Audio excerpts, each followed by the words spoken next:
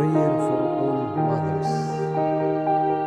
Loving God, thank you for all the mothers in the world. Bless them so that they may always give life and nourishment to their children through their firm faith, generous and selfless love, good example and constant concern for their bodily and spiritual health.